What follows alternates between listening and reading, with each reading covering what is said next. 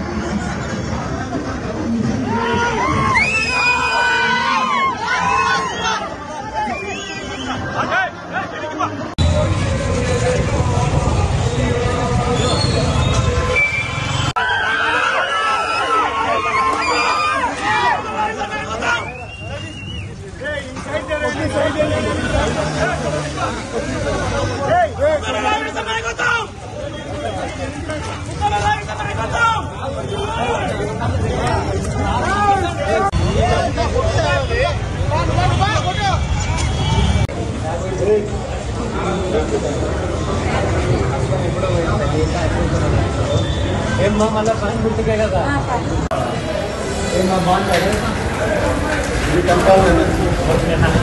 Kan?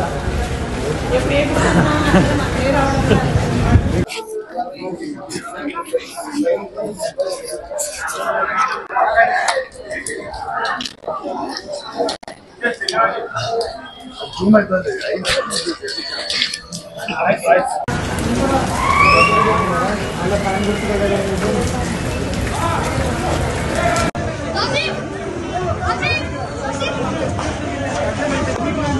Thank you.